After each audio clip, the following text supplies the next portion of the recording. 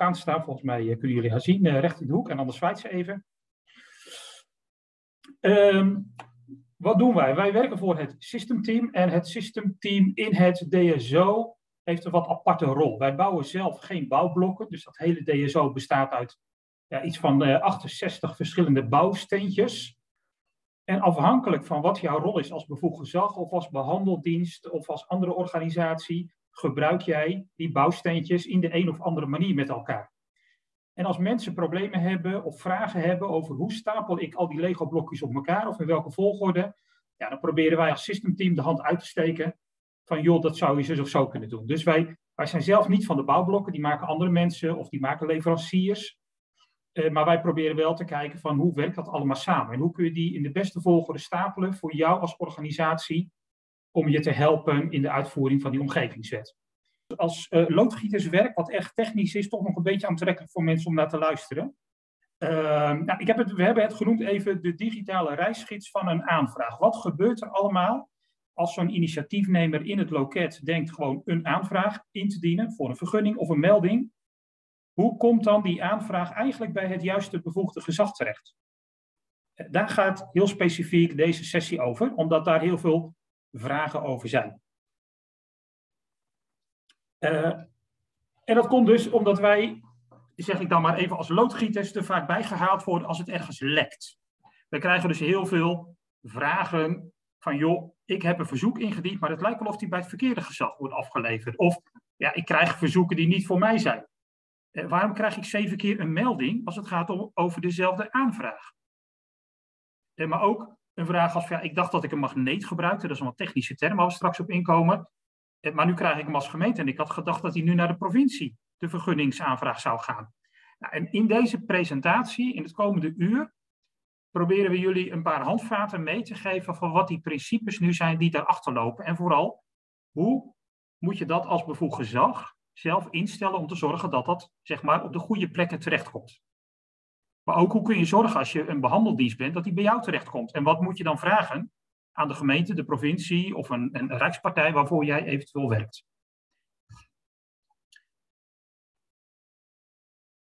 En omdat het vrij technisch is, hebben we de volgende analogie eigenlijk erbij gehaald. Uh, uh, waar het cijfertje 1 staat, zien jullie een uh, wat ingewikkeld spoorwegcomplex. Dat is Utrecht, voor degenen die daar bekend zijn. Dat is een oude foto. En dat DSO, dat digitale stelsel, is eigenlijk een heel ingewikkeld stukje infrastructuur, wat eigenlijk heel technisch is. Maar hoe zorg je nou dat het juiste treintje van die vergunningsaanvraag op het juiste pronnetje aankomt? Nou, dat doen bevoegd gezagen. Die wissels instellen doen zij door, door bepaalde acties te nemen in dat stelsel. En die acties die zullen we straks doorheen lopen, zodat jullie een beetje beeld krijgen hoe bevoegd gezagen er gaan zorgen dat een vergunningsaanvraag bij de juiste behandeldienst gaat aankomen. Want wat we eigenlijk niet willen, voor, eh, of wat we eigenlijk willen voorkomen, is dat mensen gewoon niet weten van waar gaat mijn vergunningsaanvraag naartoe en, en door wie wordt dat behandeld. Maar wat we ook willen voorkomen, is dat vergunningsaanvragen gestuurd worden naar adressen die eigenlijk helemaal niet zijn aangesloten op het DSO. Want dan moeten wij vervolgens weer gaan uitzoeken of gaan nabellen van ja, maar bij wie had hij wel geboet? En dan moeten we weer door gaan sturen. Dus dit gaat er echt over van hoe bereid ik mij ook als bevoegd gezag door om al die wissels zo goed in te stellen dat eigenlijk de meeste vergunningsaanvragen direct bij de juiste behandelaar komen, zodat ze gelijk opgepakt kunnen worden. Nou, hoe kunnen ze dat doen? We gaan de volgende onderwerpen zeg maar, nemen wij door. Zij nemen bepaalde besluiten. Dus in een besluit staat iets mag of iets mag niet. Je mag bijvoorbeeld een boom kappen of niet kappen. Daar moet je vergunning voor aanvragen als dat en dat. En de behandelaar die die vergunningsaanvraag moet gaan behandelen, wordt die of die behandelaar. Bijvoorbeeld een omgevingsdienst, of een gemeente, of een samenwerkingsverband. Dat, dat besluit nemen zij actief. Het tweede wat ze kunnen doen, ze kunnen afspraken maken over wie de behandeling van zoiets doet. Want misschien heeft het Rijk in, in het BAL, dat, dat, is, dat is een, een, een groot besluit, algemene maatregel van bestuur, wel besloten dat een gemeente een actie moet uitvoeren. Maar misschien heeft die gemeente wel helemaal niet de medewerkers daarvoor om dat te doen. En, en willen ze het werk laten uitvoeren door een omgevingsdienst. dan kunnen zij besluiten zo'n aanvraag daar naartoe door te laten routeren, dat die gelijk daar terechtkomt. Nou, een andere actie is natuurlijk, zo'n behandeldienst gaat een aanvraag ophalen en die gaat hem behandelen.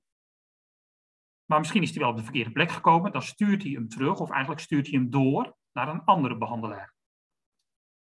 Nou, en voor de rest twee bijzondere dingen zijn mandateren en het starten van een samenwerking. Misschien is een aanvraag, zitten wel zoveel activiteiten in, dat je daarover moet gaan samenwerken met anderen. Nou, over samenwerken gaat deze presentatie niet. Dat komt eigenlijk daarna. Wij eindigen deze presentatie vanaf het nemen van het besluit tot en met het ophalen van het verzoek. Dat is eigenlijk waar het hier over gaat. En daar hebben we geprobeerd een plaatje voor te tekenen. En het plaatje ziet er eigenlijk zo uit. Een bestuursorgaan, lees het Rijk, een provincie, een waterschap of een gemeente, die neemt dus een besluit. En in dat besluit maken zij al een bepaalde afspraak. Wie de eventuele vergunningsaanvraag of de melding of de informatieplicht gaat behandelen. Die laden zij, dat besluit publiceren zij en dat laden zij in het DSO, in de, digi, in de digitale stelsel. Het tweede kan dus zijn dat ze bovenop dat besluit de afspraak maken, de uitvoering van die handeling leggen wij in handen van de omgevingsdienst. Dus dat is een tweede besluit. En ook dat laden zij in de digitale voorziening. Dus dat is eigenlijk straks stap 1 van de presentatie. Hoe bereidt een bevoegd gezag zich voor op wat er gaat gebeuren met al die routeringen? Dat is echt iets van bevoegde zagen. Dat doet niet de landelijke voorziening. Wij, wij laten het motortje draaien. Maar de brandstof die hier ingestopt wordt door die gezagen, die bepaalt eigenlijk wat er gaat gebeuren.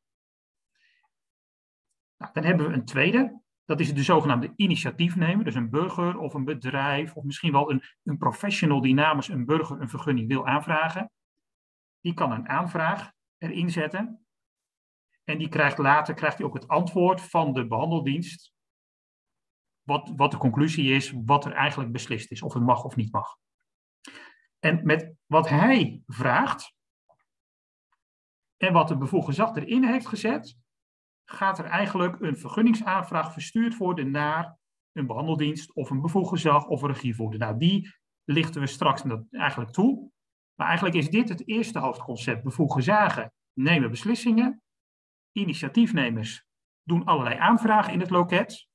Het DSO verwerkt die twee en stuurt vervolgens in nou, minimaal 80% was de eis, maar waarschijnlijk veel nauwkeuriger. In een heel grote nauwkeurigheid die juiste aanvraag naar het juiste behandelaar direct. Mocht hij niet goed aankomen, dan kan de behandelaar dus hem terugsturen en zeggen van hij moest naar de andere behandelaar. Dus dat kan ook nog gebeuren. Maar dit zijn eigenlijk de drie belangrijkste stukken waar deze presentatie over gaat. Ik zie nog geen handjes, ik zie geen vragen. Dus ik ga eigenlijk door. De eerste stap. Contentregie door gezagen. Dus al die instellingen, die besluiten van gezagen, die noemen we eigenlijk als landelijke voorziening noemen we content. En content is gewoon een heel groot begrip. Je zou het ook data kunnen noemen, besluiten, instellingen. Dus alles wat zij erin stoppen. En het is dus niet zo dat de landelijke voorziening, dat de minister bepaalt hoe iets gaat lopen. Maar gemeentes, gezagen onderling, soms met afspraken, bepalen hoe het straks gaat gebeuren. Nou, en die content moeten zij erin stoppen. Dus ik heb hier eigenlijk gezegd van, joh, eh, dit zou vanuit dat reisboekje de eerste vraag kunnen zijn. Eh, welke voorbereidingen kan ik treffen voor mijn reis als bevoegd gezag? Hoe moet ik straks zorgen dat als de wet in werking treedt, dat dat allemaal goed gaat komen? De eerste stap die je neemt, is je neemt een besluit. Dus dat kan voor het Rijk waren dat de zogenaamde AMVB's, dus de, de BAL bijvoorbeeld, besluitactiviteiten leefomgeving. Maar de, het waterschap, die, die maakt een verordening. Een provincie maakt ook een verordening. Een gemeente maakt straks het omgevingsplan. Ja, zo zijn er een aantal vormen van besluiten, projectbesluiten bijvoorbeeld, uh, die dus eigenlijk door bevoegde zagen genomen worden. En die nemen zo'n besluit en daarin zeggen ze, voor de activiteit, ik, we hebben hier als voorbeeld Natura 2000, hebben wij regels opgesteld. En die regels daarvan zijn wij, we hebben hier een foto gemaakt uit het bal, zijn wij als Rijk, het ministerie van Binnenlandse Zaken, het bestuursorgaan. En wij zeggen dat, die, dat het werk daarvoor uitgevoerd moet worden door de provincie. Dus in een besluit is dit geannoteerd. Deze activiteit is dit het bestuursorgaan, die, die mag besluiten erover nemen, bestuur, beleid formuleren. En degene die dat gaat uitvoeren, wordt de provincie. Dit gebeurt niet zomaar door een jurist of door een uh, beleidsmaker die denkt van kom laat ik eens een besluit. Hè. Dit is een heel nauwkeurig overleg tussen die verschillende bestuursorganen. Nadat het besluit gepubliceerd is, dat gebeurt in de 11BB, volgens mij is er straks een presentatie uh, ook over hoe die ketens lopen, komt die in het stelsel en dan ga je er regels aan hangen, die zogenaamde vragenbomen. Dat is wat die burger gaat zien in het loket, als die iets wil weten. En als je die regels gaat maken, dan zie je ook weer dat het bestuursorgaan, we hebben hier een ander voorbeeld van een militaire luchthaven. Uh, en we hebben dit puur als voorbeeld gebruikt. Hè? Dus, ge, dus ga er niet van uit dat dit ook in de wet staat, want een militaire luchthaven zal waarschijnlijk bij het ministerie van Defensie komen, maar als voorbeeld staat hier even ILT, dat is een ander overheidsorgaan. Dus het bestuursorgaan, dat halen we, die blauwe pijltjes, uit het besluit. En we voegen daar wat informatie aan toe, namelijk wat voor type is het, want dat bepaalt straks eigenlijk hoe die behandeld wordt. En als we al precies weten wie het moet gaan doen, dan kunnen we ook al zeggen wie het is. In dit geval heel concreet uh, ILT, dat is een onderdeel van het Rijk. En we kunnen ook nog zeggen of het een magneetactiviteit is. Een magneetactiviteit, puzzel even of we daar verder nog heel diep op ingaan, wil eigenlijk zeggen dat als deze activiteit gebruikt wordt, dus stel dat iemand een militaire luchthaven wil gaan bouwen en die zegt, nou dan moet ik ook een uitrit aanleggen en ik moet daarvoor bomen kappen en ik moet iets bouwen en ik moet iets slopen. Al die andere activiteiten, die trekt deze activiteit naar zich toe. Dus dat wil zeggen, als magneet wordt dit dus allemaal als één aanvraag ingediend bij dit bevoegde gezag. Inspectie eh, ILT. Dus op die manier kan dus een bevoegd gezag ervoor zorgen dat in samenhang zij al die vergunningsaanvragen naar zichzelf toetrekken. Dat is de werking van een magneet. En dat kan alleen eigenlijk door het Rijk en door de provincie gedaan worden. Want normaal gesproken eh, gaan wij uit van decentralisatie, proberen we een vergunningsaanvraag altijd zo laag mogelijk in te dienen. Dus het liefste bij de gemeente, zo dicht mogelijk bij de burger. Maar dit zijn dus voorbeelden van dingen die zo ingewikkeld zijn dat een provincie in dit geval of het Rijk gezegd heeft van nou als iemand dit aanvraagt, ja, dan, dan wil ik hem in samenhang helemaal naar mij toe hebben. Dus het eerste ding om te onthouden, magneetactiviteiten beïnvloeden dus ook heel erg de routine. Nou, er staan nog een aantal dingen bij van inderdaad wat een magneetactiviteit is. En wij hebben hieronder in dat vlakje, ga ik niet op in, wat tips meegegeven aan bevoegde zagen hoe je het beste zo'n besluit kan instellen. Wat je wel moet noteren, wat je niet moet noteren. Want we hebben soms mensen die het overijverig alle velden gaan invullen. Nou, dat maakt het soms ook wel weer moeilijk om het uit te voeren. Dus wij proberen aan bevoegde zagen dit straks op een website te zetten met tips en trucs. Als je het zo invult, dan werkt dat het beste. Dit, dus dit is eigenlijk hoe besloten wordt door bevoegde zagen wie eigenlijk een wie het bevoegde gezag is om een vergunningsaanvraag af te handelen. Dan was de tweede stap.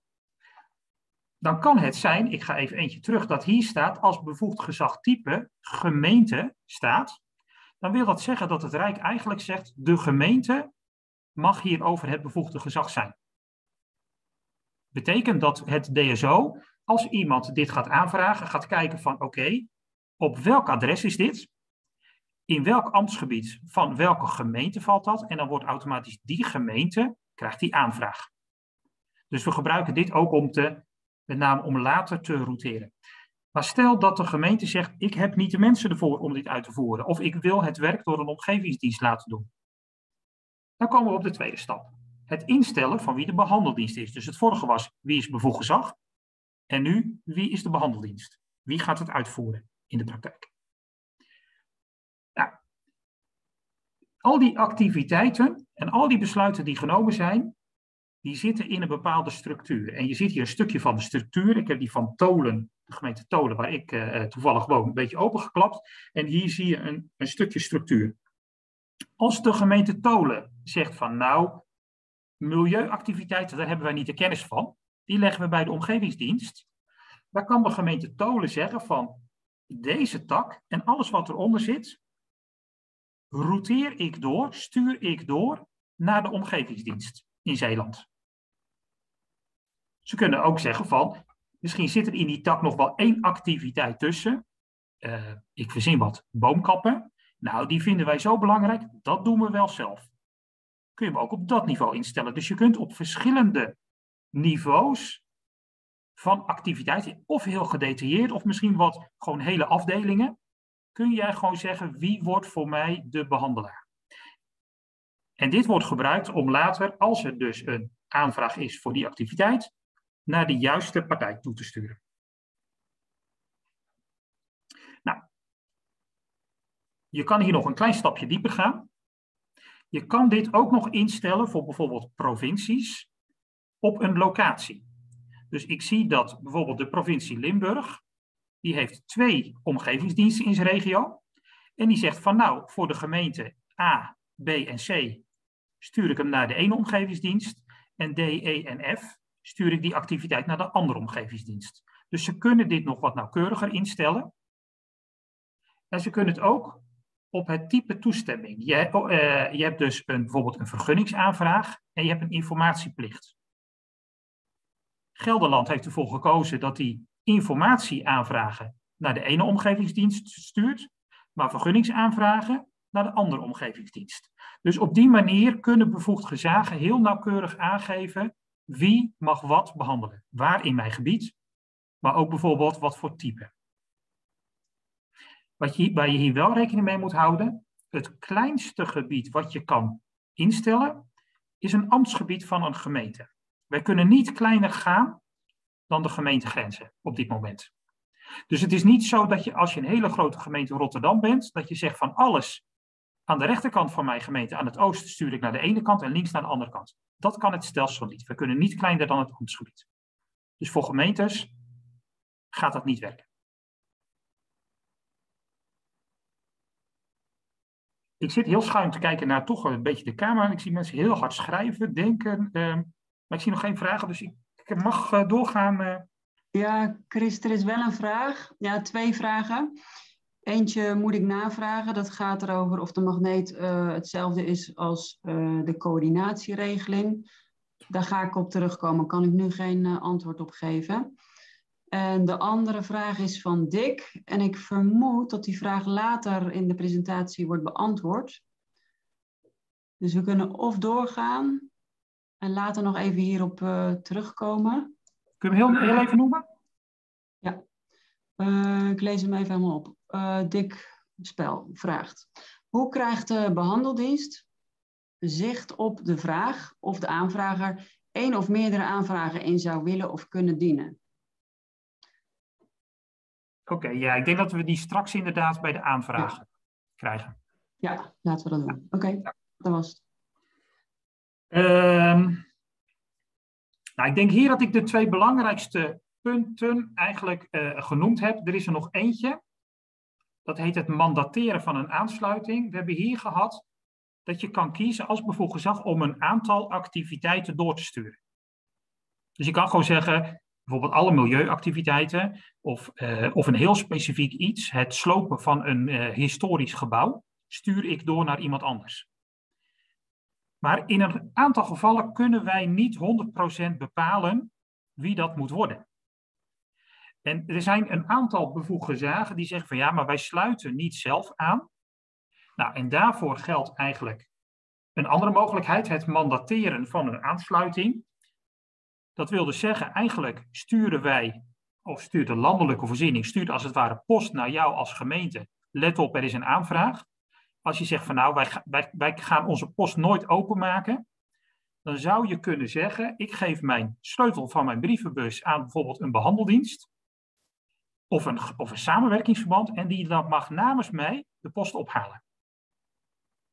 dan kun je dus alle post ophalen. Dan hoef je eigenlijk ook geen routering meer in te stellen. Hoef je namelijk niet door te sturen.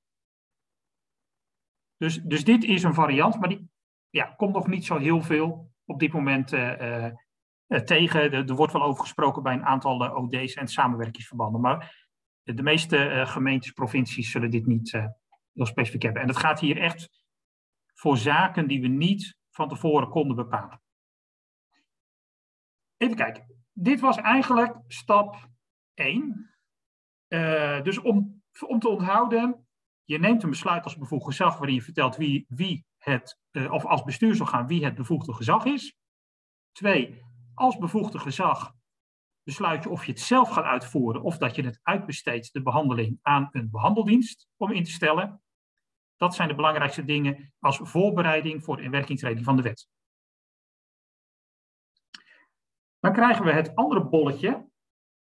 Dat is die initiatief nemen. Dat is eigenlijk die burger, dat, dat bedrijf die ja, iets wil van die overheid en die een, het initiatief neemt voor een aanvraag. Ehm, en in die analogie van die reis zou ik hier zeggen van, ja, dit is het maken van je reisplan. En want misschien wil jij in jouw reis, eh, in jouw treinreis naar het noorden, denk je, nou, ik passeer Walibi. Nou, daar wil ik ook nog even langs. En uh, oh, ik wil dat museum pakken. En op mijn reis wil ik ook dat doen. En zo voegen mensen een aantal activiteiten toe aan hun hele aanvraag. Daar is geen beperking op. Uh, ik heb vorige week een aanvraag gezien van iemand die aan het oefenen was, die 43 activiteiten had toegevoegd. Gaat het in de praktijk gebeuren? Denk het niet. Want een burger die zoveel activiteiten toevoegt, na een half uur invullen van de website is die het al lang zat. Want dan is het zo complex wat hij doet. Die doet rechtstreeks bij de gemeente een aanvraag indienen. Maar je kan dus activiteiten toevoegen die voor jou nodig zijn. Als jij iets wil verbouwen, dan is het misschien ook nodig om een boom te kappen. En misschien moet je ook wel de uitrit verleggen. Dus die reis gaat die burger over nadenken en dan wordt hij geholpen in het DSO met voorbeelden. Als u dit wil, heeft u nagedacht over dat en dat. En zo kan het dus zijn dat je meerdere activiteiten tegenkomt als initiatiefnemer bij het invullen van eigenlijk jouw project, van jouw reis wat jij wilde gaan doen. Nou, de, de belangrijkste ding, ik ga het loket, ga ik eigenlijk hier niet laten zien. Uh, uh, het loket staat open, dus iemand die dat wil kan er altijd zelf toegang toe geven. Maar er zijn twee dingen die we willen weten. We willen weten wat is het adres. En we willen eigenlijk weten wat voor activiteiten gaat u ondernemen.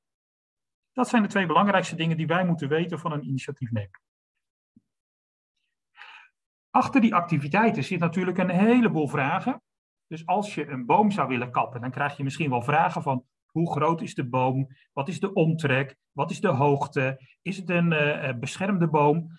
Maar voor de routering is dat voor ons niet van belang. Wij willen alleen weten wat is die activiteit die geraakt gaat worden. Dus deze twee dingen die moet je als initiatiefnemer eigenlijk wel weten. Als je dit niet weet, kun je geen vergunning of geen aanvraag in het DSO intypen.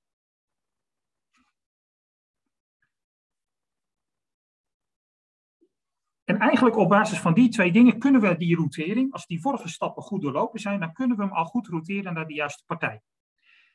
Maar er zit ook een mogelijkheid in het DSO dat een initiatiefnemer, zo noemen we die rol eigenlijk, zelf een keuze maakt bij wie die het gaat indienen. Dus ondanks dat wij als stelsel in dat bevoegde zaken gezegd hebben van nou, deze aanvraag voor het slopen van jouw tuinhuisje moet je bij de gemeente indienen, zou het kunnen voorkomen dat een initiatiefnemer zegt van nou, ik dien hem ergens anders in. Wij hopen dat dat niet te vaak gaat gebeuren. We hebben die knop zo goed mogelijk verborgen in het loket. Want je krijgt een hele ingewikkelde dingen. Maar er zijn situaties dat dit wel nodig is.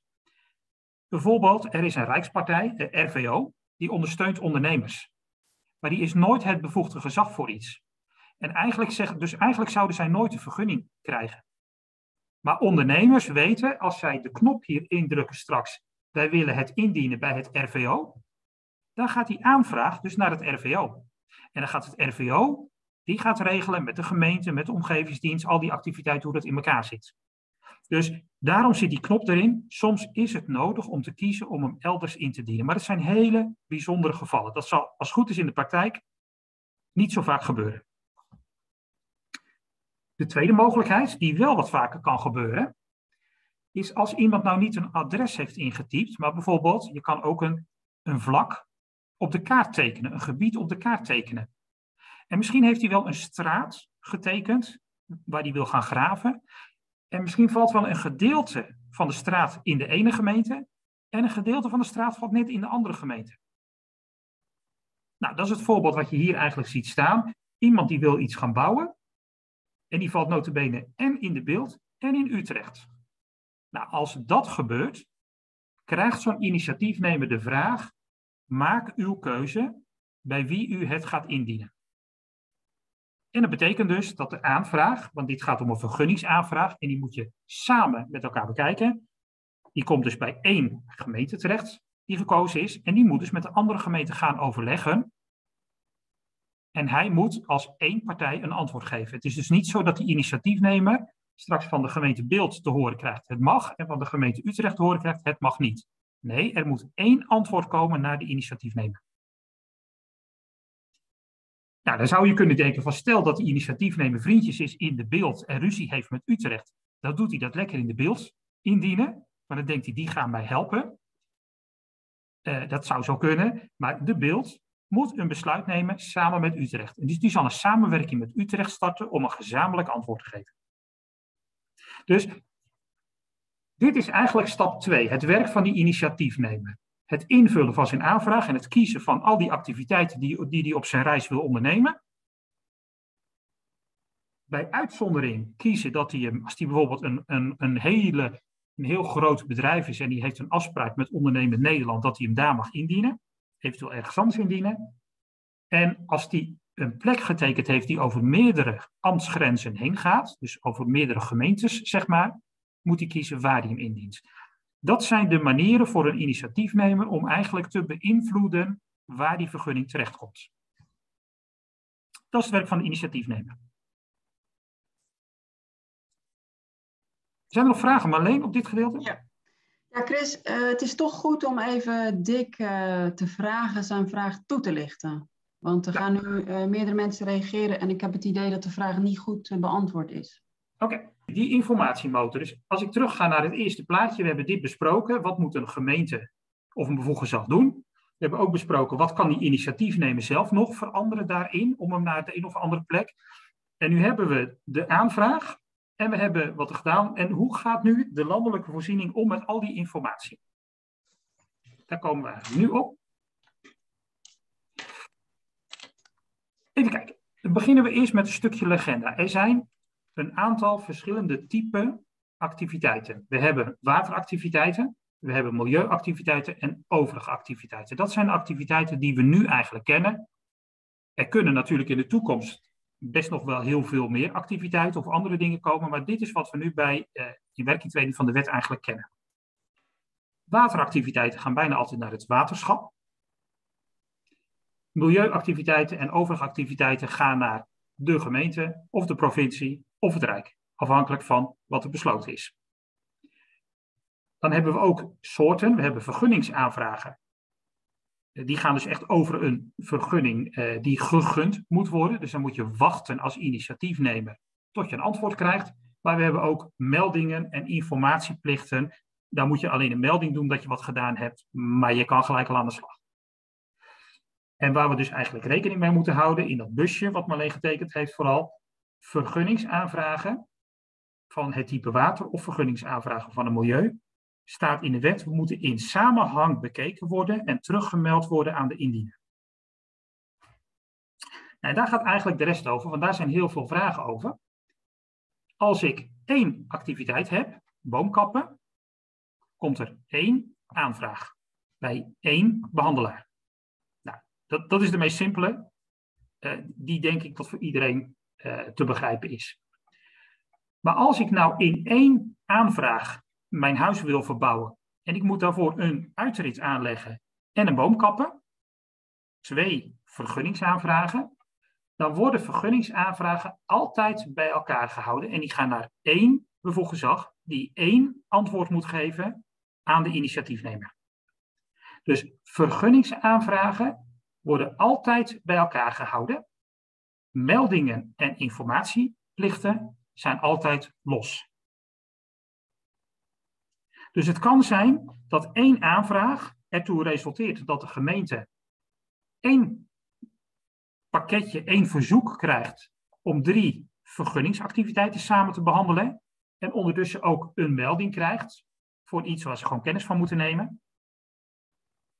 En niet op terug hoeft te reageren. Dus hier komen vooral vragen over. Vorige week hadden we er eentje van een omgevingsdienst. Die was aan het oefenen volgens mij met een geitenstal. Uh, en voor het aanvragen van zo'n geitenstal moest uh, de desbetreffende initiatiefnemer heel veel vragen beantwoorden. En er waren een aantal, was pure melding en een aantal was vergunningsaanvraag. En toen was het de dingen, wij krijgen zeven verschillende berichtjes binnen als bevoegd gezag. Een aantal meldingen en een aantal vergunningsaanvragen. Daar zit dus hier, is de logica op gebaseerd. Vergunningen worden bij elkaar gehouden, meldingen zijn apart. Maar als vergunningverlener of als behandeldienst weet jij dat al die, deze verzoeken, die, zeg maar, die berichtjes die je krijgt, die hebben allemaal dezelfde projectnaam. Dus die kun je als één zaak bij elkaar houden in jouw zaaksysteem, omdat je weet dat die aan elkaar gerelateerd zijn. Maar het blijven wel individuele berichten. En je kan dus ook zeggen van ik heb het bericht gehad en ik stuur dat gedeelte zeg maar door. Dat kun je bijvoorbeeld voor een melding of een informatieplicht doen. Maar een verzoek kun je natuurlijk wel in samenhang met een ander bevoegd gezag, een gemeente, gaan bespreken. Wat vinden wij hiervan? Van het verzoek is er maar één antwoord naar de initiatiefnemer terug mogelijk, door één partij. Kun je niet zeggen, uh, ik knip hem in tweeën, de gemeente Beeld vindt het wel goed en de gemeente Utrecht vindt het niet goed. Samenhang van vergunningen is een van de kernzaken van het DSO. En dat kan dus leiden tot inderdaad een dergelijk treintje, dat je een vergunningsaanvraag hebt voor een bepaalde milieuactiviteit bijvoorbeeld. Als die vergunningsaanvraag voor die milieuactiviteit besloten is dat het gedaan moet worden door de gemeente, dan wil dat ook zeggen dat in samenhang ook de meldingen en de informatieplichten ook naar die gemeente gaat, zodat die gemeente goed kan zien in zijn gebied wat bij elkaar hoort. En niet dat hij verrast wordt dat in diezelfde uh, partij er ook nog een stukje informatie verstuurd is naar een omgevingsdienst, waar zij helemaal niet van op de hoogte zijn. Dus enkelvoudig is het bij simpel. Vergunningen houden we bij elkaar. En als een vergunning van een bepaalde milieuactiviteit, als daar ook nog meldingen en informatieplichten, dan sturen we die naar hetzelfde bevoegd gezag. Zodat die goed kunnen zien hoe de boel bij elkaar zit. Ook al blijft het individuele berichten.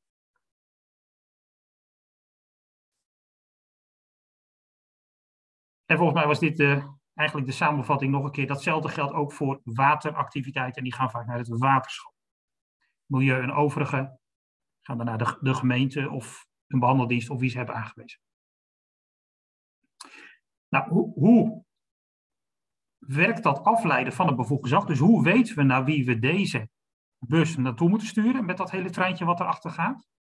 Dat weten we omdat dat besluit, wat we eerder besproken hebben, door het bevoegd gezag is ingebracht. En daarin stond, eerst kijken we naar regel 1, wie is het bevoegd gezag? Als dit veld is ingevuld, sturen we alles naar dit bevoegde gezag toe. Maar als dit veld niet is ingevuld, maar dit veld is ingevuld, namelijk het type, bijvoorbeeld gemeente, dan kijken wij, oh, in welke gemeente is dit adres? En dan sturen we naar die gemeente toe. En als iemand zijn werk niet gedaan heeft en het is allemaal niet ingevuld, dan weten we wel wie het bestuursorgaan is die het besluit genomen heeft. En dan sturen we naar het bestuursorgaan. Dus deze drie stappen doorlopen wij eigenlijk om te bepalen naar wie wij wat gaan sturen. En daarom is het ook zo belangrijk dat bevoegde zagen hun besluiten heel goed annoteren en hun toepasbare regels heel duidelijk invullen, zodat we weten naar wie we wat moeten gaan sturen.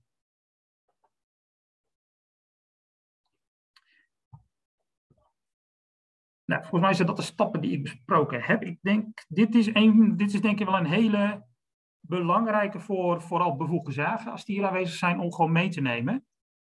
die routering is, dit is een van de belangrijkste stukken daaruit. Dus denk daar goed over na wat je invult en wie je invult in je besluiten. Nou, dan komen we op het stukje magneet, eigenlijk zo net al even genoemd. In een activiteit kun jij aangeven, dus als Rijk of als gemeente, oh sorry, als Rijk of als provincie, niet als gemeente heeft dat weinig zin, want eigenlijk zal het systeem het het snelste naar de gemeente, namelijk het laagste, het meest decentrale bevoegd gezag sturen. Maar als jij toch zegt als Rijk of als provincie, ja, maar ik wil niet dat naar de gemeente gaat, ik wil dat deze activiteit naar mij toe gaat, dan kun jij als Rijk of als provincie een zogenaamde magneet instellen. En als er een magneet is, als Rijk of provincie, dan, komt, dan trek jij het geheel van de aanvraag naar jou toe. Nou, als wij dus weten wie dat is, dat heb je ingesteld, dan komt hij bij jou terecht. Als jij niks hebt ingesteld, maar we gaan er even vanuit dat dat eigenlijk bijna nooit zal gaan voorkomen, dan sturen we hem naar Binnenlandse Zaken en dan vragen van Binnenlandse Zaken, willen jullie gaan uitzoeken wie hier nu de behandelaar voor gaat worden? Dat betekent 9 van de 10 keer dat je terug moet zoeken wie heeft er hier een besluit genomen. En is er in dat besluit vastgelegd wel wie het bevoegde gezag is namens het bestuursorgaan en naar wie moet ik hem dus gaan sturen. Maar dit zijn uitzonderlijke gevallen. Als er geen magneet in is, dan geldt het andere treintje weer. Dan kunnen wij bepalen wie het bevoegde gezag is.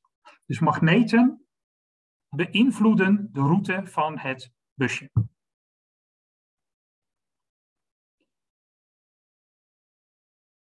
Ehm, ik kijk even met een schuin oog. Uh, doet de microfoon van Dick het inmiddels of gaan we die... Uh... Ja, excuses. Ja, uh, hij, ik, ik, ik, ik had een draadloze verbinding die uitviel, dus ik, heb nu, ik ben nu bekabeld en nu doet hij het weer. Excuses voor, voor het ongemak en de overlast die ik daarmee veroorzaakt heb.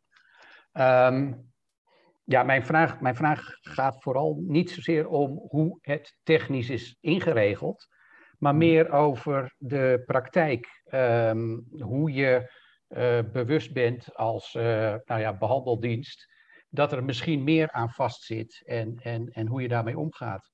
Ik kan me, kan me heel goed voorstellen dat er straks iemand zegt van oké, ik dien twee verschillende aanvragen in. één voor uh, het, het, het, tuinhuisje, een ander voor het kappen van de boom. En dat het tuinhuisje bij de gemeente binnenkomt en dat uh, het kappen van de boom uh, gedelegeerd is naar de omgevingsdienst. En die, mm die erover gaat. En dat ze dan van elkaar dan niet duidelijk hebben van wat er aan de hand is. En dat, dat er eventueel overleg nodig is met die aanvragen. Ja. Ja, ik denk inderdaad, die zit straks in de volgende stap inderdaad, hoe ga je ermee om? als het een vergunningsaanvraag is, dus inderdaad in, in dit voorbeeld, als er twee vergunningsplichten zijn, dan gaat dus de gemeente gaat deze aanvraag krijgen. En dan ziet de gemeente, wacht even, het kappen van de boom zat bij de omgevingsdienst.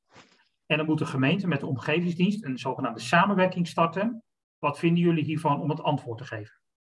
Maar het is dus zo dat, het, dat, dat, dat beide uh, bij de gemeente binnenkomen. Hè? Uh, het is dus niet zo dat het meteen doorgaat naar een omgevingsdienst, omdat die als behandeldienst is. Uh, dus er zit een trap in, een getrapte behandeling. Het ja. komt binnen op een centraal punt en die gaat het verder distribueren naar een omgevingsdienst of een provincie of een waterschap. Ja, als, als we dus inderdaad niet eenduidig dat kunnen afleiden. Dus stel dat je, uit mijn hoofd te zeggen, heb je bijvoorbeeld LPG en een motocross. Dat zijn twee activiteiten die allebei bij de omgevingsdienst horen.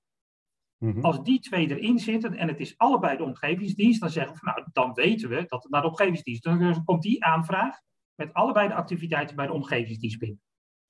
Als ja, ik en, en, in dit geval gaat het om, om, om één van die twee. De mix. Die ik als, die ik als aanvrager uh, uh, naar uh, het bevoegde zag stuur. Ja. En een week later stuur ik mijn bouwvergunning in. Uh, dat, zijn, dat zijn twee verschillende uh, dingen, inderdaad. Uh, ik wil even die andere. Als het een mix is, dus een activiteit van de omgevingsdienst, waarvan we dus de routering naar de omgevingsdienst hebben, en de andere activiteit bijvoorbeeld naar de gemeente, gewoon een alarminstallatie hebben. Als het dus een mix is, dan gaat die naar de gemeente en dan moet de gemeente die coördinatie doen.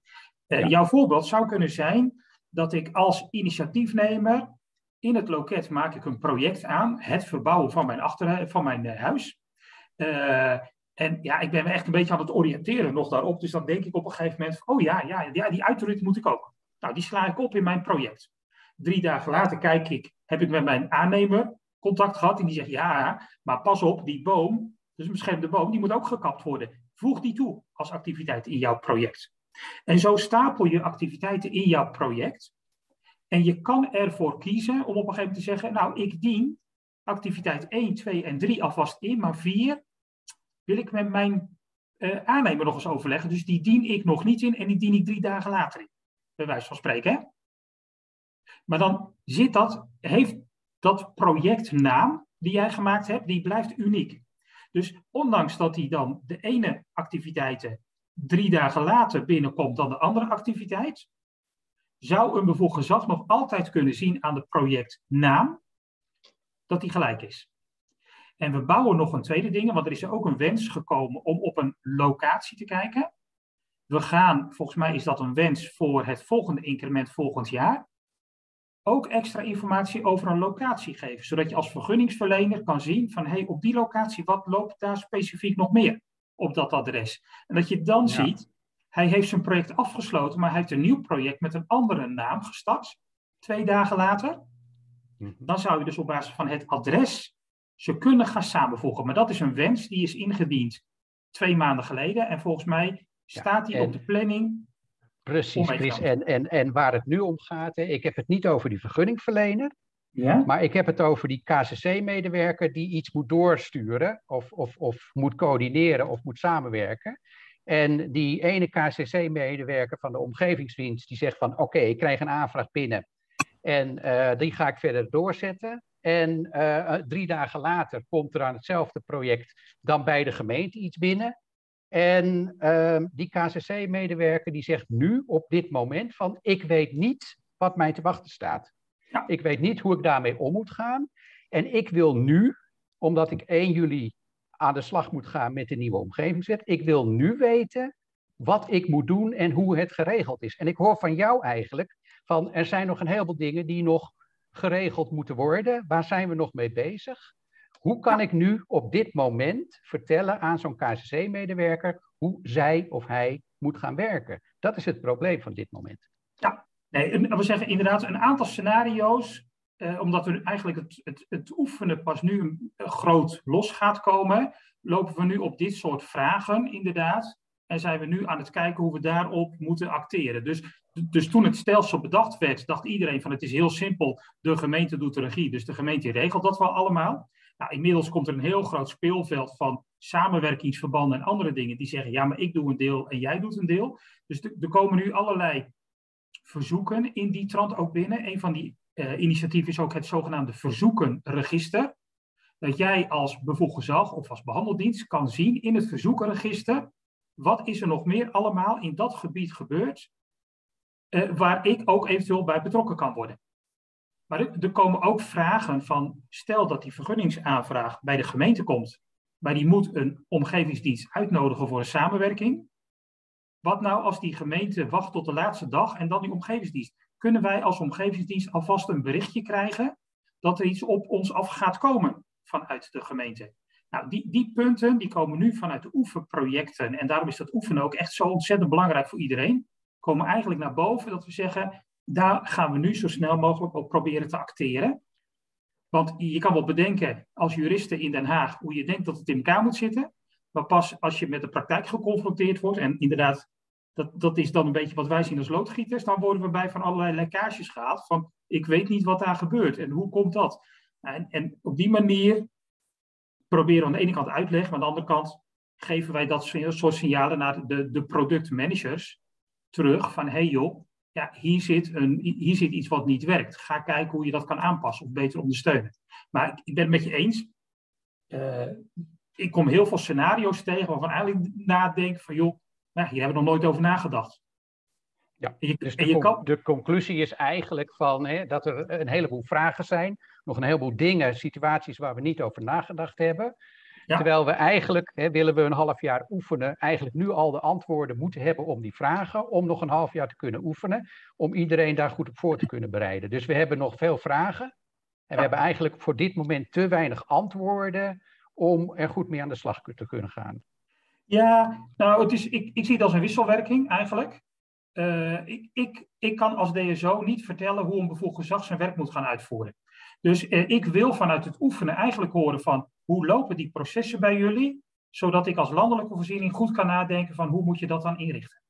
En, en ja, dat, dat, is, dat is kip-ei hè, met, met z'n allen. En, uh, en daarom ja, is het ook ons, vind ik het persoonlijk, maar goed, dat is mijn mening, in een agile programma waar je al drie jaar lang elke twee weken demonstraties en sprints geeft, dat je nu pas dit soort informatie van de praktijk boven water gaat krijgen. Uh, dus uh, ja, het is kort dag. Er staat wel tegenover. Uh, ik denk wel dat gewoon voor de enkelvoudige routeringen, zeker 90, 95 procent, gaat gewoon echt in één keer wel goed. Ja. Maar, maar er zijn ook hele speciale gevallen ja. Uh, ja, waarvan de gemeente zegt, ik besteed het werk uit, maar ik wil niet dat er staat namens die of die partij, maar wel namens mij als gemeente.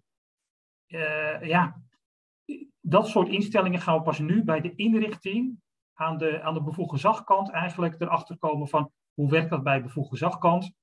En ik denk ook als programma is er wel het bewustzijn ook van ja, je kan heel veel verzinnen als juristen en je kan altijd zeggen, zo staat het in de wet. Maar als het in de praktijk niet werkbaar is, zullen we toch oplossingen moeten verzinnen met z'n allen. En, en in die fase zitten we nu. Ik onthoud me verder van commentaar. Voel je vrij. Ik bedoel, volgens mij, uh, wij zijn heel benaderbaar om heel inhoudelijk op sommige dingen. Uh, even kijken, ik wil even verder gaan, ook vanwege de tijd hebben we nog 10 minuten. Um, even kijken, dus dit is eigenlijk dat het DSO, die, hoe die motor draait. Wat houden we bij elkaar? Wat splitsen we uit? Hoe bepalen we wie het bevoegde gezag is? En hoe bepalen we dus eigenlijk wie de behandeldienst gaat worden? Nou, ik moet even, ik had mijn schermpje verschoven. Uh, en dan moet ik hier terug. Deze laatste ging over dat routeren van die verzoeken. Als een bevoegd gezag gezegd heeft van, uh, ik doe alles zelf, dan heeft hij geen routering ingesteld. Dan gaat er een berichtje naar het bevoegde gezag. Sturen wij een notificatie, er is een verzoek voor u met dat en dat nummer. En dan gaat dat bevoegd gezag gaat dat die zaak zeg maar, uit de DSO ophalen. Als een bevoegd gezag gezegd heeft van nou, ik stel de behandeling van boomkappen, routeer ik door naar de omgevingsdienst, dan gaat er ook altijd een berichtje naar het bevoegde gezag. Maar dan gaat er ook een bericht naar de behandeldienst. Let op, er is een zaak voor u, die moet u gaan behandelen. Dus het bevoegd gezag weet altijd als er een bericht gestuurd is. Maar in dat geval gaat de behandeldienst gaat de zaak ophalen en verwerken. Zeg maar. Even kijken, ik denk dat dit de belangrijkste hieruit is. Dit is even hoe het DSO dus omgaat met al die informatie die die gezagen erin hebben gestopt en wat die initiatiefnemer heeft toegevoegd.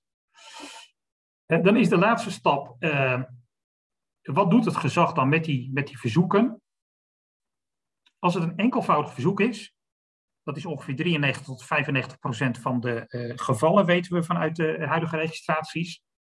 Dan gaat die, of het bevoegde gezag of de behandeldienst, als die gerouteerd heeft, die gaat hem behandelen. En die geeft het antwoord terug aan de initiatiefnemer. Als het een meervoudig verzoek is, dus inderdaad, dat is zo'n speciaal geval met een mix aan activiteiten, dan gaat de regievoerder, de gemeente, of als ze de regietaak hebben uitbesteed iemand anders, gaat al die vergunningsstappen, die activiteiten uitsplitsen, gaat een samenwerking starten met die verschillende partijen en gaat één integraal antwoord teruggeven aan de initiatiefnemer. Dus dan gaat vooral de, de regierol, het regisseren, van die hele aanvraag gaat daar plaatsvinden. Het gaat dus echt om een complex verzoek. Uh, dan is er nog één mogelijkheid. Stel dat het verzoek terecht is gekomen bij een partij die zegt van ja, maar hij is niet voor mij. Uh, kan dat voorkomen? Ja, dat kan voorkomen. Uh, ik krijg veel vragen daarover van gezagen die zeggen, nou, maar 90% doen we zelf, maar als het ingewikkeld is, dan sturen we het door naar iemand anders. Dan doet iemand anders dat voor ons. Dus ook, en ja, wij kunnen niet precies bepalen in regeltjes wanneer wel, wanneer niet. Dus stuur de aanvraag naar ons toe, 90%, en die andere sturen wij door. Nou, dat kan. U krijgt een verzoek binnen. En u kunt dat verzoek dus doorsturen naar of een ander bevoegd gezag. Maar je kan ook zeggen, je stuurt hem naar de behandeldienst. Die geef je dan als optie mee, zeg maar heel technisch gesproken voor de techneuten. Is dat een parameter die je meegeeft? Maar je moet in die parameter ook zeggen wie het bevoegd gezag is. Je kan niet als behandeldienst hem zomaar doorsturen naar een andere behandeldienst, terwijl het bevoegd gezag daar niet van af weet. Dus het bevoegd gezag weet altijd, krijgt altijd de informatie dat de behandeldienst die het zou behandelen, het heeft doorgestuurd naar de ander. Wat niet kan, er zijn bevoegde zaken die zeggen we gaan niet aansluiten.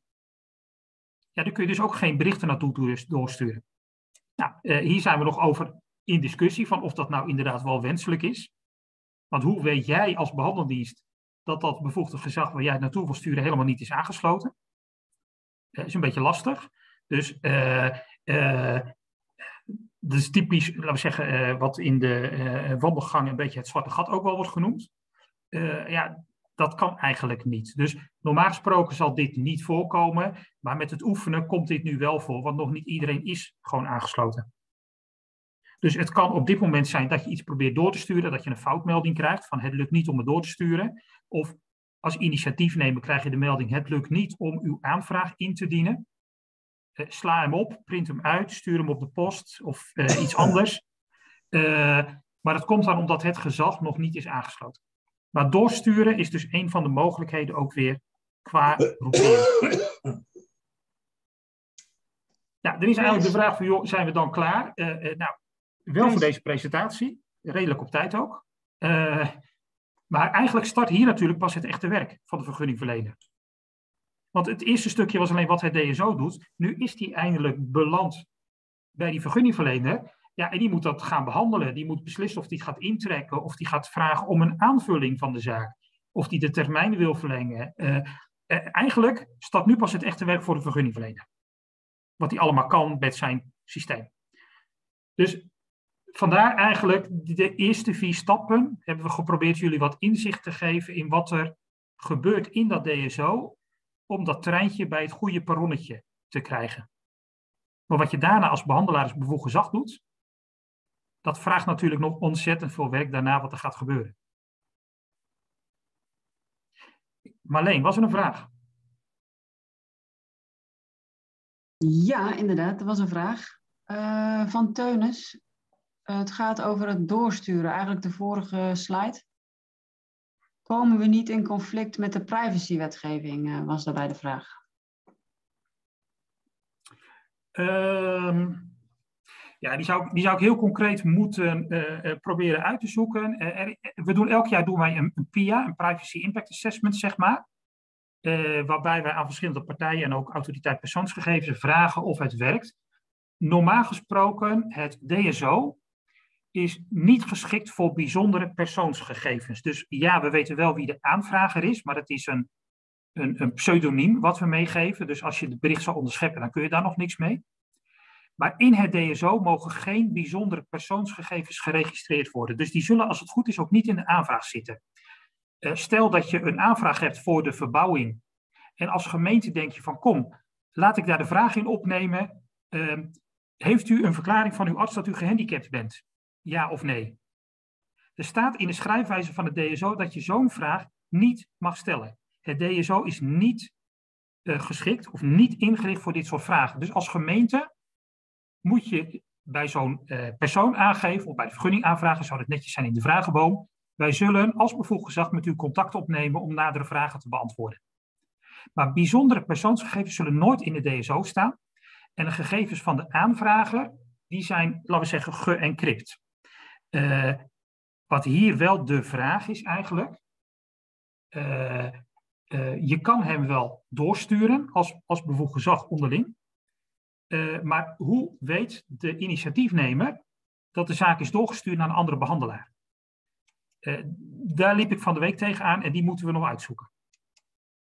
Want eigenlijk zou je dan ook weer naar de berichtenbox burger een berichtje willen sturen. Uw aanvraag was ingediend bij die of die behandelaar. En die behandelaar heeft besloten hem door te sturen naar een andere behandelaar. Nou, daar moet ik even uitzoeken hoe de initiatiefnemer daarover eh, op de hoogte wordt gesteld. En ik zal heel specifiek even vragen hoe privacy hierbij een risico kan vormen. Helpt dat, uh, Teunis? Ik, ongetwijfeld staat die in de, in de PIA bij de risicomaatregelen, maar ik, ik moet dat even precies uitzoeken hoe dat geformuleerd is. Marleen, was een andere vraag nog? Nee, verder geen vragen. Dan heb ik precies nog één minuut eh, voor een uh, afsluitend uh, iets. Nou ja, als samenvatting, ja, ik hoop dat we jullie wat inzicht hebben gegeven van hoe het werkt met al die instellingen die die bevoegde zaken zelf moeten gaan doen. hoe het DSO en hoe, een eigenlijk hoe de initiatiefnemer zelf ook invloed heeft op waar een aanvraag naartoe gestuurd wordt. Hoe het DSO dat allemaal verwerkt, wat ze bij elkaar houdt en uitsplitst. En hoe je als behandelaar in de laatste stap eventueel kan doorsturen uh, en daarmee om kan gaan. Uh, we gaan proberen ook als virtual content team een soort tips en trucs mee te geven van wat wij zien dat hele succesvolle instellingen zijn, maar ook waar heel veel vragen. Ik zie toevallig, uh, ik heb mijn camera nu aanstaan, ik zie Jon Dekker in beeld komen van OD Noordzee Kanaalgebied. die daagt mij regelmatig uit met de meest ingewikkelde casussen van kan dit ook? volgens mij hebben we heel veel dingen verzonnen, uh, maar we gaan ook proberen dat echt te bundelen. En daarom is mijn oproep, er zijn werkplaatsen en spreekuren. Daar zitten de echte deskundigen die het gebouwd hebben. Daar zitten de juristen die, die de, de, hoe zeg je dat? de intenties van de wet exact kennen. Ga daar naartoe, sluit je aan. Uh, als we er daar niet uitkomen, uh, nou, dan kan John bevestigen, dan bouwen we een pilot en gaan we het allemaal uitproberen in de praktijk. Maar benut vooral die spreekuren. De, de links staan hierin. Uh, ik heb nog twee links opgenomen, gewoon naar algemene informatie in het loket, die je kan vinden. Uh, en uh, als je vragen hebt, dien ze in ook bij het e-upload, informatie.leefomgeving. Eh, ongetwijfeld gaat dan waarschijnlijk, of ze kunnen het zelf, of iemand vanuit het systemteam zal vast wel een keer contact opnemen van, hey, kunnen we dat eens uitdiepen? En eigenlijk was dat mijn presentatie. En eh, ik weet dat ik uit de tijd loop, maar mag ik een hele korte vraag stellen? Was dit nuttig of was dit te veel informatie in een uur? En dat is, eh, ik kan die vraag natuurlijk niet zo stellen en ik zie de chat ook niet, maar misschien dat Marleen dat kan roepen. Dank Chris, het was zeer nuttig. Oké. Okay. uh, ja, nou, goed alle, alle minder prettige commentaren mogen ook in de mail. Ja, en er zijn nog 50 uh, deelnemers, dus ik denk toch dat het uh, oh, ja, meer, interessant was, Chris. Meer dan Kan ik nog een kleine vraag stellen, Chris? Of uh, Tuurlijk. geen tijd meer? Nou, ik, ik heb volgens mij, want ik moet straks een andere sessie modereren en dan moet ik 20 minuten van tevoren inloggen, dus ik heb 10 minuten. Maar ik weet dat, ik denk dat Femke, de facilitator, misschien ingrijpt dat ze de link gaat beëindigen, maar dan, dat merken we. Ja, oké, okay. kleine ja. vraag. Um, ik had, ik had, Sorry. Kan ik, kan ik de vraag stellen of niet? Ja? Okay. ja. Ja, ik had uh, begrepen vorige week een, na een overlegje dat, want dat voorbeeld had je niet genoemd. Uh, stel je hebt een vergunningaanvraag die naar de provincie moet en tegelijkertijd wordt er een melding ingediend, maar dat zijn de, een uh, bruidschap milieu. Mm -hmm. En, en die, die zit in het omgevingsplan, dus dat is, een, dat is een melding, dus die wordt dan apart gezet, maar die gaat dan wel naar een ander bevoegd zag. Dat betekent dus dat je onder één project één aanvraag doet, maar die gaat naar twee verschillende zagen toe. Want die, uh, die, dat nou, kan dus wel, hè? Dus dat, nou, even wachten. Een, een, als er twee vergunningsactiviteiten in zitten, worden die bij elkaar gehouden. Ja, dat weet ik. Maar het gaat nu om één vergunningsactiviteit. Voor de en één melding? En een ja. melding voor de, ja. uh, voor de omgevingsplan.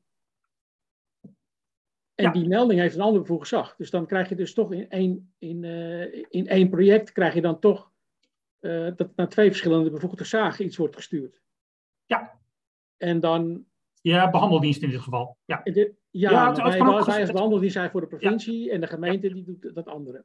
Ja. Dus dat, dat is wel iets waar ik nog over nadenken ben. Maar misschien jullie ook van, nou ja, hoe weten we dan van elkaar uh, wat bij wie belandt? Nou, waarschijnlijk...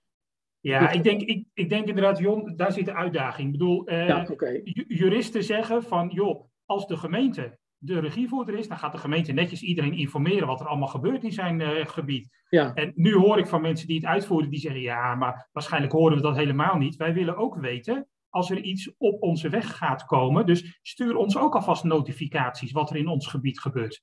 Nou, Ja. daar, daar zijn we naar aan het kijken. Hoe kunnen we zorgen dat meer iedereen ook in een regio al op de hoogte is van wat er allemaal speelt bij anderen, zonder dat ze direct de verantwoordelijkheid hebben. Ja, ja. En, maar dan raak je wel het punt wat Teunis denk ik op komt rondom privacy. Van inderdaad, als een initiatiefnemer gezegd, ik dien een vergunningsaanvraag in bij de gemeente en ik voeg een bijlage toe met eh, de foto van mijn kinderen. Ik verzin even wat in de huisdieren. Maar ik wil privacy, ik wil niet dat die gedeeld wordt met de provincie. Want die mensen die, eh, eh, die hoeven dat niet te zien. Ja, mag de provincie er wel een notificatie krijgen en een link naar de zaak om de zaak op te halen? Nee, eigenlijk ook niet. Dus we zullen dan een andere manier van notificeren. Maar dat, dat, dat gaan we, inderdaad, in die fase zitten we nu van uitzoeken. Ja, oké. En het opportunisme van de gemeente regelt dat wel netjes. En die, iedereen communiceert met iedereen in het land. Eh, hoe zeg je dat? Dat, dat? Daar geloof ik niet meer zo hard in. Ik denk dat we toch technische maatregelen daar als ondersteuning kunnen bieden. Eh, En ik nog een heel ander klein vraagje eh, is, ik had altijd begrepen als ik op de ADS-site zit te kijken dat de, de ontgrondingsactiviteiten ook magneetactiviteiten zijn. Maar die worden niet zo, als zodanig eh, gedefinieerd in het DSO. Dus die werken niet als magneetactiviteiten in het DSO. Klopt dat? Ehm, nou, kijk, ik weet dat er nog veel discussie is, even uit mijn hoofd te zeggen, over hoe die activiteiten worden ingevuld. En dan kijk ik schuin ook naar Marleen. Er wordt ook nog gesleuteld volgens mij aan een aantal eh, punten. Eh, maar wat je eigenlijk eh, zegt is ontgronden. Oh. Dan kijk ik in de toepasbare regels. En dan zeg ik voor jullie in zin ik Amsterdam. En dan ont, oh, ontgronden. Nou, ontgronden in de Noordzee zal het niet worden. Een ontgrondingsactiviteit. Het is de verordening. Dit is de verordening. Moet je niet naar het Rijk, naar boven? Ja, het moet van het Rijk zijn en dan een vergunning aanvraag. Maar die, hij is een beetje moeilijk gedefinieerd, omdat hij, het moet op land zijn in ieder geval. Niet zijn de Noordzee. Ja, dus op dus- land, die, erop, die eronder zitten, op land. Deze. Ja, En wat jij zegt, hij staat niet als magneet inderdaad hier ingesteld, want dan staat er hier magneet tussen. Dus dat klopt. En jij zegt van eigenlijk staat er, ik gok dan in het eh, bal of zo, een besluitactiviteit en leefomgeving, dat dit een magneet zou moeten zijn die naar de provincie in, moet. de, in die beslisboomplaatjes van het ADS, als je die volgt, staat ontgrondingactiviteit voor deze staat dan eh, als magneet aangeduid. Oké, nou, ik denk een hele goede suggestie. En eh, volgens mij eh, kijk ik schuin naar Marleen. Eh, gaan we die bij het Rijk dus inderdaad aangeven als bevoegd gezag dat ze hun, eh, hun content moeten updaten. Ja, maar, Of in het, ieder dat geval zou moeten moeten checken of het, of het klopt. ja, maar het zou natuurlijk kunnen zijn dat het te maken heeft dat, dat ontgrondingen volgens mij ook plaats kunnen vinden bij gemeentes. Alleen dat onderscheid heeft te maken met, eh met 100.000 kuub en dat wordt niet gemaakt in het DSO. Dus, dus het gaat dan of standaard naar, naar de provincie of standaard naar de gemeente. En waarschijnlijk hebben ze nu voor gekozen dat de standaard naar de provincie gaat. Ja, En dan moet de provincie gaan denken van hé, hey, dit is minder dan 100.000 kuub, dus ik stuur hem door naar de, naar de gemeente. ja. Maar Nou, ik, als er iets bij komt, dan, dan, dan had het. ja, ja. Nou, ik weet dat het Rijk is echt nog bezig ook met die bruidschat. Hè? Die is nog Ja. niet definitief. Dus het kan best zijn dat het Rijk in de volgende update zegt, wij splitsen deze activiteit in boven de zoveel duizend kuub en onder de Oké, zoveel dat zou nog duizend kunnen komen, eventueel. Ja. Dus dat kan zijn dat ze zo'n eh, beslissing nemen. Maar ik denk dat het wel een mooi voorbeeld is hoe belangrijk het is dat bevoegde zagen, vooral de juristen en de regelmakers, dus heel goed nadenken hoe ze dit inrichten. Want dat heeft voor de dienstverlening een heel groot effect. Kijk, zolang het enkelvoudig is, dan is er vaak niet zoveel aan de hand. Hè? Maar ja, dat, hela- Ja. en ontgro- ontgrondingen zullen. Op dit moment gaan ontgrondingen altijd enkelvoudig. Maar je zal het net zien, als de keuze is om iets meervoudig in te dienen, dan gaat het ook wel gebeuren, ook waarschijnlijk. Dus, eh, Ja, ja. Oké, dat waren mijn vragen. Dankjewel in ieder geval. Dankjewel, Jonne. Oké, nou als er niet meer vragen zijn volgens mij, dan eh, kunnen wij deze sessie beëindigen. Eh, ik, eh, ik dank jullie allemaal wel voor de aandacht vragen. En heb gisteren deze presentatie een keer uitgeprobeerd op een paar mensen. En toen zeiden ze na afloop van een uur van jeetje, dat is wel ontzettend veel informatie. Daar moeten we zo over nadenken. Nou, doe dat, maar schroom ook niet om contact met ons op te nemen. Hè? Want wat Dick ook wel terecht aangeeft, we zijn echt nog in een fase dat we met z'n allen nadenken zijn van wat betekent dat in de praktijk.